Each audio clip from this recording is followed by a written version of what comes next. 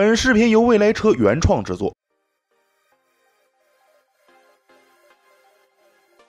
应急车道是指设置于城市环线、快速路、高速路的两侧，专门用于工程救险、消防救援、医疗救护。民警执行紧急公务等处理应急事务的车辆使用的专用通道，不得在非紧急情况下随意占用紧急车道。但是长期以来，一些驾驶员知法犯法，特别是在道路拥堵时随意使用应急车道，甚至引起应急车道堵塞，造成应急车道解不了急的尴尬境地。江苏警察为了解决应急车道被占用的问题，专门配备新武器无人机。开车不守规矩的朋友要收敛了。最近这款新武器无人机于近日在江苏省开始执行任务。据该省公安厅交警总队公布的消息称，无人机升空查处、高清探头抓拍等方式是在。在春节长假前五天开始启用的，已经查处违法占用应急车道总计两千零六十起。之前，交警查处违法占用应急车道的方式样数很多，比如用监控探头方式，仅在装备监控的路段起到了防止随意占用应急车道的现象，但没装备监控的路段问题依然严重。再比如交警同志抓拍取证，现在抓拍多为偷拍，经常引起网友们吐槽交警同志不能光明正大的执法。还有湖北高速交警。